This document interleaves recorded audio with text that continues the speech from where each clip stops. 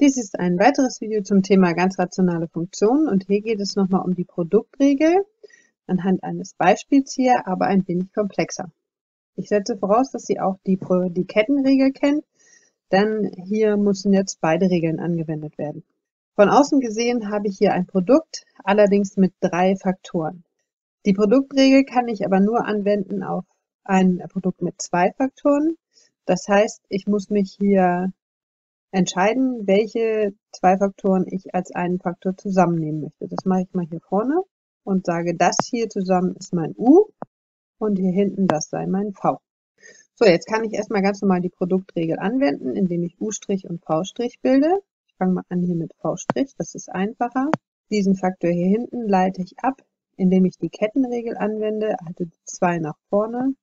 Die hoch 1 hier oben lasse ich weg Mal die innere Ableitung nach der Kettenregel wäre hier 1, also mal 1. Das lasse ich ebenfalls weg. So, jetzt kommt U'. U', da U selber aus einem Produkt besteht, muss auch U' nach der Produktregel gebildet werden.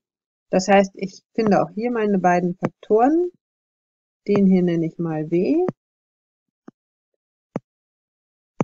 Und den hier Z. Bilde jetzt W' und Z'. B' ist in diesem Fall einfach 1 und Z' nach der Kettenregel die 2 nach vorne, hoch 1 lasse ich weg und das mal 1 hinten auch. So, jetzt kann ich U' bilden, ist dann B' mal Z, also einmal dieses hier, die 1 lasse ich auch weg. Na, ich schreibe es mal einmal hin, damit man es erkennen kann. Das hier wäre B' mal Z plus w mal z', also w wäre hier x minus 3, das wäre mein w. Und jetzt mal z', das lese ich hier unten ab. So, das Ganze kann ich jetzt noch zusammenfassen. Achso, hier habe ich z' natürlich.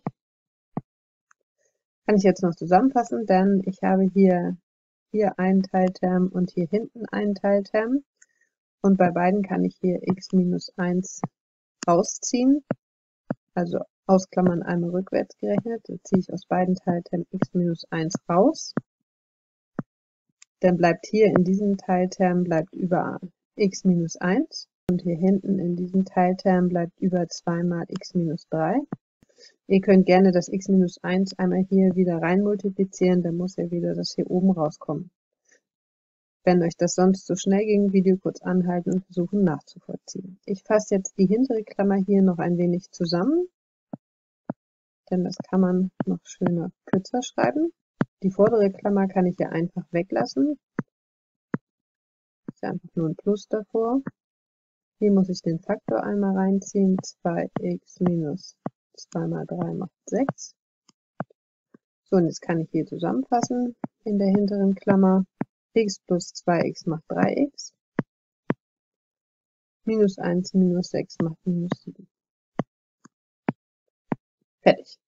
So, jetzt habe ich erstmal für meine äußere Produktregel hier die beiden Faktoren V' und U' gebildet. Und jetzt kann ich für meine Funktion f die Ableitung bilden. So, indem ich rechne U', das wäre hier unten dieser Ausdruck. Das Ganze hier wäre also U' mal V. V lese ich hier oben ab. Plus Schreibe ich jetzt hier hin, weil ich hier hinten keinen Platz mehr habe. Jetzt kommt v, äh, u mal v'. u lese ich hier oben ab. Mal v' und v' kann ich hier oben ablesen. So, fertig. Jetzt versuche ich natürlich, ich habe ja hier zwei Teilterme, einmal diesen hier und einmal diesen hier, die noch ein bisschen zusammenzufassen. Jetzt sehe ich, dass ich in beiden Teiltermen dieses x plus 2 habe und auch das x minus 1. Das x minus 3 leider nicht, deswegen kann ich es nicht rausziehen, aber die beiden tauchen bei beiden auf, deswegen kann ich die rausziehen, also ausklammern, einmal x minus 1 und einmal x plus 2 mal. So, große Klammer auf. Jetzt bleibt hier bei dem ersten Teilterm über 3x minus 7. Und hier unten, ach so, 3x minus 7 mal x plus 2, weil das ja im Quadrat vorkommt. plus. Jetzt kommt dieses Plus hier und hier unten bei den Teiltermen bleibt über x minus 3 und x minus 1 bleibt auch mal über, weil das ja auch im Quadrat vorkommt. Und jetzt noch die mal 2.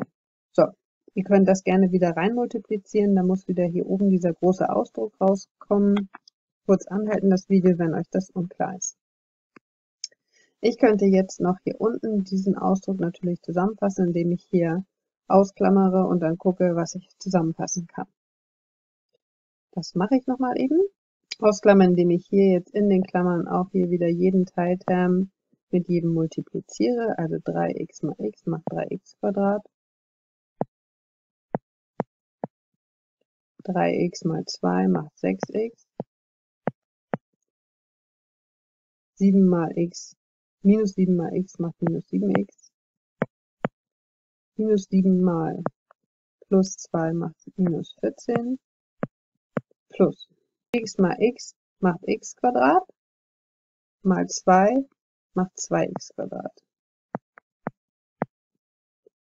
x mal minus 1 macht minus x mal 2 macht minus 2x. 3 mal x minus 3 mal x macht minus 3x mal 2 macht minus 6x. Minus 3 mal minus 1 macht 3, mal 2 macht 6. So, und hier kann ich das natürlich auch noch zusammenfassen. 3x und 2x macht 5x 16x minus 7x macht minus 23x.